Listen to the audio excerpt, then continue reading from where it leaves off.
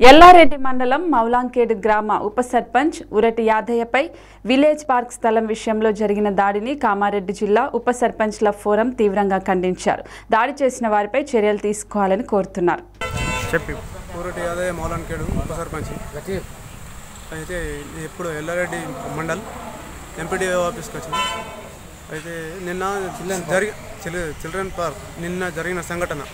Children park shop చేపిస్తామంటే MRO sir ఈయన వచ్చి అక్కడ ఉన్నసేపు ఎవరేమనలే ఎంఆర్ఓ సార్ ఈయన వెళ్ళిపోయినాక ఇద్దరు దౌర్జన్యంగా వచ్చి మీద పడి కొట్టారు ఎంపీడీ ఆఫీస్కి వెళ్ళి ఎంపీడీ ఆఫీస్కి వెళ్ళి మాట్లాడి ఇప్పుడు మాట్లాడడానికి అంతే.